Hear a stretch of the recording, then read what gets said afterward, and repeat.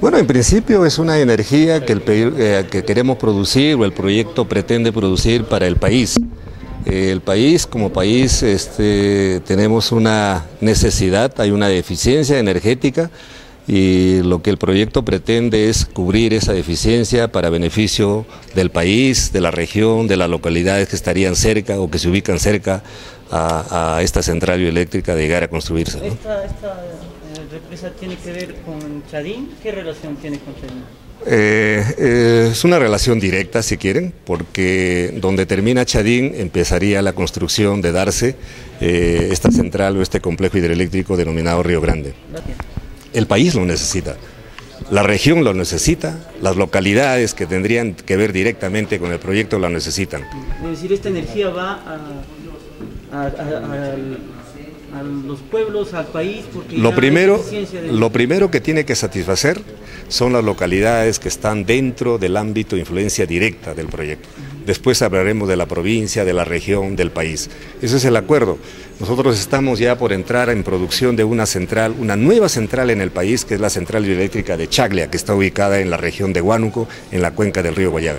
Es una central que se ha construido así como por Odebrecht Energía del Perú y que entraría en producción con 456 megavatios como parte del sistema del interconectado nacional, porque así funciona en nuestro país.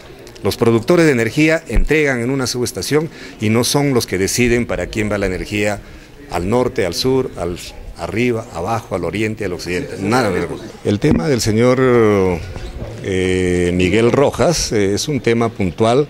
El señor Miguel Rojas es un propietario de cerca de 10 o 15 kilómetros a las orillas del Marañón, por lo tanto un impropietario muy importante ¿Qué ha, sucedido? Lo que sucedió con él, como vuelvo a repetir, es un tema muy puntual, de repente por, por este caso por, las, por los pobladores de la localidad de Matibamba, Santa Rosa, que de repente actúan de esa manera por justamente por la falta de información, por falta de que desconocen hasta dónde llegan los, los impactos o el alcance que podría tener uno de los componentes como el embalse de, esta, de darse esta central eléctrica. Eh, justamente esta reunión es para alcanzar información. Yo creo que muchas de las cosas se dan porque no hay información y estamos en ese proceso. No vamos a parar hasta llegar al último rincón que nos permita hacer de conocimiento de la comunidad cuál es el alcance, cuáles son los componentes de este proyecto, cuáles son los beneficios, etcétera, etcétera. ¿Cuenta con licencia social?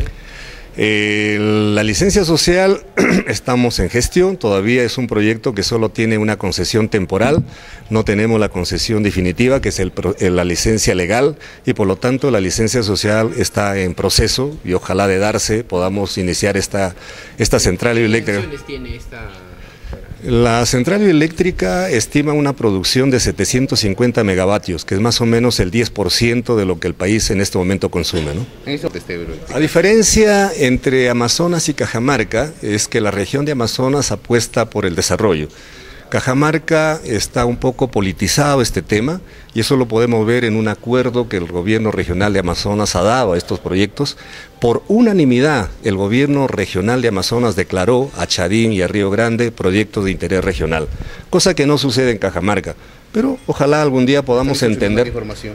¿Perdón? ¿Están distorsionando la información? Eh, posiblemente, posiblemente, eh, pero de eso nos estamos encargando nosotros. Estamos tratando de tener algunos los espacios, llámese talleres, audiencias, reuniones como la que estamos el día de hoy, para hacer llegar la información, para que la gente se sienta informado y que la decisión que se tome respecto a la posición a este proyecto por una persona, por una comunidad, sea en base a la información y no que otros tomen decisión por ellos. Podría decir, por ejemplo, en el caso de Chadín específicamente, el 99%, sin temor a equivocarme, de estas tierras productivas, de las 400 hectáreas que serían nadas, están dedicadas al cultivo de la coca. ¿no? ¿El no, está presente en esa zona entonces? Eh, yo, no, no, no, yo no he visto que haya narcotráfico, lo que he visto es que son áreas productores de coca.